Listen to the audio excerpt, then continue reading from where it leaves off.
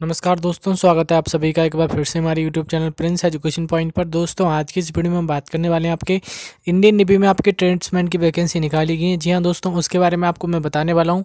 उसकी क्या eligibility condition होगी कौन कौन कैंडिडेट आवेदन कर पाएँगे एज लिमिट क्या होगी, देखिएगा, उसका फ़िज़िकल क्राइटेरिया क्या होगा, सब कुछ मैं आप सभी को डिटेल में बताऊँगा। तो देखिए, आप सभी इस वीडियो को कंप्लीट डिटेल में देखिए, अगर आप इस वैकेंसी के लिए एलिजिबल हैं तो अप्लाई ज़रूर करिएगा।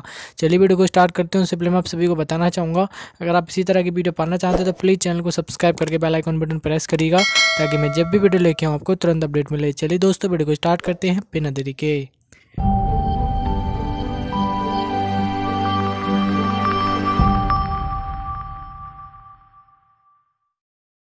दोस्तों, सबसे पहले मैं बात करता हूँ, देखिए, आपके इंडियन नेवी की वैकेंसी रहेगी जिसमें अगर मैं बात करूँ, देखिए, आपके क्या इनवाइट किए गए आपके ऑनलाइन एप्लीकेशन आपको ऑनलाइन फॉर्म आपको फिलअप करना होगा, ठीक है? जिसमें अगर हम नंबर ऑफ़ पोस्ट की बात करें, एक हज़ार पाँच सौ इकतीस इसमें वैकेंसी रहने वाली है, ठीक है भाई?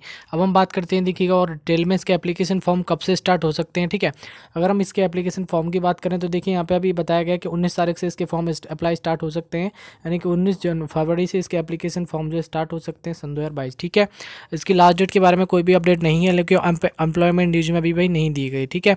अगर हम बात करते हैं इसके एप्लीकेशन फ़ीस के बारे में भी, कोई अपडेट नहीं है, क्या फ़ीस हो सकती है, क्या नहीं, ये आपको एम्प्लॉयमेंट न्यूज़ के अभी आया है। फ़िलहाल आपको जब ऑफिशियल पे आएगा, तब आपको पता चल जाएगा, ठीक है? आगे मैं बात करता हूँ, देखिए आपके एज लिमिट को लेकर अठारह से पच्चीस साल आपकी एज लिमिट यहाँ पर दिखाई गई है, जो कि मैं आपको नोटिफिकेशन में भी दिखा दूँगा, ठीक है भाई?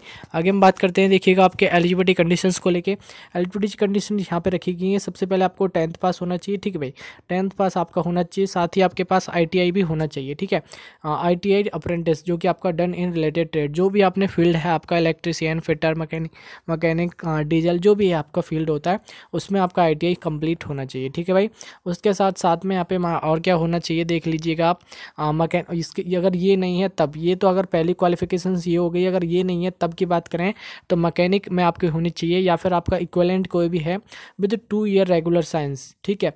In the appropriate technical branch of and यानी कि आपने अगर कहीं भी आ, जैसे कि आर्मी वाले नेवी में या फिर एयरफोर्स में कहीं भी किया है तो आप इसमें अपना लगा सकते हैं, ठीक है भाई? टू ईयर आपका रेगुलर आपका सर्विस होना चाहिए। वो चीज़ें आप यहाँ पे लगा सकते हैं। अगर ये नहीं है तो आप इसके लिए एलिजिबल नहीं होंगे, ठीक है? मैंने आपको बता दिया। दोस्तों, आप बात करते हैं आपके, देखिए डेसिग्नेटेड पोस्ट के लिए। देखिए पोस्ट वाइज बात करते हैं, जो कि आपका दो डिपार्टमेंट में पोस्ट रहेंगी। पहले आपका डेसिग्नेटेड पोस्ट होंगी। इसके बारे में अगर हम बात करें, देखिए, आपका इलेक्ट्रिकल यानी कि फिटर में आपका होना चाहिए, जो कि आपकी कैटेगरी वाइज यहाँ पर वैकेंसी आप लोग यहाँ पर देख सकते हैं डिवाइडेड हैं। जैसे कि ओ बी में आपकी सिक्सटी वैकेंसी हैं ओ में थर्टी एट हैं एस सी में आपकी ट्वेंटी सेवन है एस टी में आपकी फोर्टीन है और ई डब्ल्यू एस में सोलह वैकेंसी हैं टोटल मिला के कितनी है, एक सौ चौंसठ वैकेंसी ठीक है?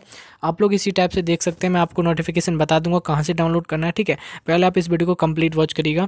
उसके बाद देखिए, आपके देखिए सेम यहाँ पे आपका इलेक्ट्रो प्लाटर में आपकी देखिए पोस्ट दे रखी है, इसी हिसाब से टेन पोस्ट रहेंगी इंजन फीडर की बात करें, एक पोस्ट हैं, ठीक है? सेम आपका उसी टाइप से देख रखी है, आप लोग यहाँ पे देख सकते हैं, मैंने कैटेगरी के बारे में आपको बता दिया है।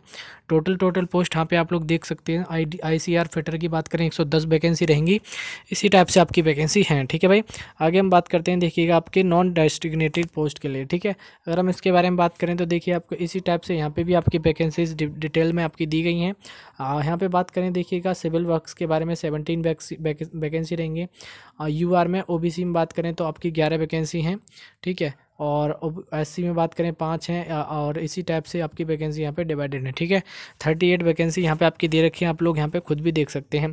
टोटल आप नंबर ऑफ़ पोस्ट की बात करें तो पाँच सॉरी एक हज़ार पाँच सौ इकतीस वैकेंसी यहाँ पे आप लोग रहने वाले हैं, यानी कि पंद्रह सौ इकतीस पोस्ट रहेंगी। अगर हम बात करते हैं इसके सिलेक्शन प्रोसीजर के बारे में तो सिलेक्शन प्रोसीजर मैं आपको बता देता हूँ। देखिए, पहले आपको यानी कि ऑनलाइन फॉर्म अप्लाई किया जाएगा देन आपको देखिए शॉर्टलिस्ट किया जाएगा, ठीक है? जैसे आप लोग शॉर्टलिस्ट हो जाते हैं तो आपको एडमिट कार्ड आएगा देन आपको देखिए, आपको एग्ज़ाम में होना को होगा, जो कि आपका सी कंप्यूटर बेस्ड एग्ज़ाम होगा। ठीक है भाई? कंप्यूटर पर आपका एग्ज़ाम होने वाला है, जो कि आपका ऑनलाइन मोड में रहने वाला है। ठीक है? साथ ही अगर हम बात करें, देखिए, उसमें एमसीक्यू टाइप के क्वेश्चन पूछे जाएँगे। ठीक है? यानी कि एम टाइप के क्वेश्चन पूछे जाएँगे, जो कि आपका वाइलिंगल रहने वाले हैं। कहने का मतलब आप हिंदी और इंग्लिश ठीक है? इंग्लिश और हिंदी दोनों में आप लोग अपना एग्ज़ाम जो है दे सकते हैं। ये नहीं कि आप किसी एक लैंग्वेज में देंगे, दोनों लैंग्वेज में आप लोग अपना एग्ज़ाम दे सकते हैं। ठीक है भाई? अगर हम बात करें, देखिए आपके कहाँ से क्वेश्चन पूछे जाएँगे, वो भी मैं आपको बता देता हूँ। तो देखिए इंटेलिजेंस एंड रीजनिंग से आपके दस क्वेश्चन पूछे जाने वाले हैं। नोमेरिकल एप्टीट्यूड से भी दस क्वेश्चन आएँगे। साथ ही हम बात करते हैं आपके इंग्लिश से। आपका दस क्वेश्चन आएँगे। जनरल अवेयरनेस से बीस क्वेश्चन आने वाले हैं। टोटल आपके फिफ्टी फिफ्टी क्वेश्चन हो गए। और फिफ्टी आपके देखिए रिलेटेड ट्रेड से आएँगे। जो भी आपके ट्रेड होगी, उस रिलेटेड ट्रेड से आपके फिफ्टी क्वेश्चन आएँगे। टोटल आपको देखिए हंड्रेड क्वेश्चन आपसे पूछे जाने वाले हैं। जिसमें कि अगर हम इसके टाइमिंग की बात करें तो आपको नाइन्टी मिनट का टाइमिंग मिलने वाला है। ठीक है? आप लोग यहाँ पर देख लीजिएगा। साथ ही हम आगे बात करते हैं। देखिएगा सिलेबस के बारे में डिटेल में यहाँ पे आप लोग देख देख सकते हैं। ये आपका दे रखा है सिलेबस का आप चाहें तो इसका स्क्रीनशॉट भी ले लीजिएगा। स्क्रीन रीजनिंग का आपका सिलेबस ये रहने वाला है। साथ ही अगर हम बात करें मैथमेटिक्स के बारे में तो देखिए मैथमेटिक्स का सिलेबस आप सभी के सामने है, आप लोग यहाँ पे देख लीजिएगा। सिलेबस के लिए भी कहीं भी जाने की ज़रूरत नहीं है, ये आपका सिलेबस है, इसका स्क्रीन ले लीजिएगा। ठीक है भाई? साथ ही आगे हम बात करते हैं, देखिए इंग्लिश लैंग्वेज के बारे में तो इंग्लिश लैंग्वेज का सिलेबस आप सभी के सामने ये रहेगा, ठीक है? आगे हम बात करते हैं, देखिएगा आगे आपका जनरल अवेयरनेस के बारे में। तो जनरल अवेयरनेस का सिलेबस आप लोग यहाँ पे देख लीजिएगा, ये है आपका जनरल अवेयरनेस का सिलेबस ठीक है? इतना सा आपका सिलेबस है जो कि आप लोग यहाँ पे देख लीजिएगा। अब मैं आपको बात करता हूँ आपके उसका नोटिफिकेशन के बारे में। अगर हम आपके नोटिफिकेशन के बारे में बात करें तो देखिए, आपको ये सबसे पहले जाना होगा टेलीग्राम चैनल पर टेलीग्राम चैनल का नाम है प्रिंस एजुकेशन पॉइंट लिंक मैं आपको डिस्क्रिप्शन बॉक्स में अवेलेबल करा दूँगा। या फिर आप टेलीग्राम चैनल पर जाएँगे सर्च करेंगे तो भी आपको मिल जाएगा। यहाँ पे देखिए, मैंने नोटिफिकेशन ऑलरेडी पहले से फॉरवर्ड कर दिया जाएगा जो कि एम्प्लॉयमेंट न्यूज़ में आया हुआ है, ठीक है? ऑफिशियल नोटिफिकेशन नहीं है, केवल अभी एम्प्लॉयमेंट न्यूज़ में आ चुका है। ऑफिशियल नोटिफिकेशन एक दो दिन में आपको देखने को मिल जाएगा। जो कि मैं आपको वीडियो बना के इन्फॉर्म भी कर दूँगा, ठीक है? यहाँ पे आप इस नोटिफिकेशन को डाउनलोड करोगे, जो कि आपको इस नाम से मिल जाएगा। Indian Navy tradesman new vacancy notification 2022 out इस पर आप क्लिक करेंगे, जैसे इसको डाउनलोड कर लेंगे, जैसे मैंने इसको ओपन किया, ठीक है, जैसे हमारा ये ओपन होगा, आप लोग ये देख सकते हैं एम्प्लॉयमेंट न्यूज़ का आप सभी के सामने मिल जाएगा। रिक्रूटमेंट ऑफ़ सिविलियन जो कि आपके पर्सनल के रहने वाली है, जो कि इंडियन नेवी में आपका बैच की बात करें तो zero one slash two thousand twenty two batch रहेगा, आप लोग यहाँ पे खुद भी देख सकते हैं। साथ ही दोस्तों, मैं आपको एक बात बताना चाहूँगा, देखिए, आप लोग काफ़ी कैंडिडेट ये सोच रहे होंगे कि सभी कैंडिडेट जी नहीं, दोस्तों, जिन भी कैंडिडेट ने अप्रेंटिस कर रखी है, ठीक है, जिन भी कैंडिडेट ने अप्रेंटिस कर रखी है, वही कैंडिडेट इसके लिए आवेदन कर पाएँगे, जो कि मैं आपको नीचे दिखा देता हूँ, आप लोग खुद भी देख सकते हैं। ठीक है, यहाँ पे आप पूरी तरह से खुद भी बता रखा है, देख लीजिएगा। इस इस वाले कॉलम में आप लोग यहाँ पे देख सकते हैं। ठीक है, यहाँ पे क्लियरली तरीके से बता रखा है शुड हैव यहाँ पे क्या देखा कंप्लीट यानी आपने कंप्लीट की हुई की हुई हो अप्रेंटिस ठीक है ना? ट्रेनिंग इन जो भी आपकी ट्रेड है, उसमें आपका अप्रेंटिस क्लियर होना चाहिए, तभी आप इसके लिए आवेदन कर पाएँगे। बाद में मैं आपको पहले ही बता देता हूँ इस चीज़ को, बाद में कोई भी कैंडिडेट इस इसको लेके कमेंट करे। तो देख लीजिएगा, आप लोग अगर आप एलिजिबल हैं तो ही आप इसके लिए आवेदन करें।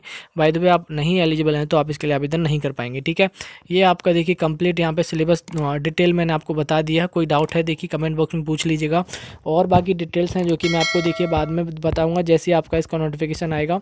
मैंने देखिए इसके बारे में आपको कंप्लीट बता दिया, इसका नोट एम्प्लॉयमेंट न्यूज़ का आपको नोटिफिकेशन चाहिए तो जाके टेलीग्राम चैनल से डाउनलोड कर लीजिएगा। आई होप मैंने आपको पूरी तरह से समझा दिया है और आपकी समझ में आ गया होगा। दोस्तों, आपकी समझ में आ गया तो बस आपसे कहना चाहूँगा प्लीज़ वीडियो को लाइक करें शेयर करें और कमेंट करके जो बताएँ, आपको वीडियो कैसी लगी। अगर आपको कोई डाउट है तो कमेंट बॉक्स में पूछ लीजिएगा। वीडियो अच्छा लगा हो तो प्लीज़ चैनल को सब्सक्राइब करके पहला आइकन बटन प्रेस करिएगा, ताकि मैं जब भी आगे कोई वीडियो लेके आऊँ, आपको तुरंत अपडेट मिले। चलिए दोस्तों बाकी मिलते हैं किसी नेक्स्ट वीडियो में। तब तक के लिए जय हिंद, वंदे मातरम।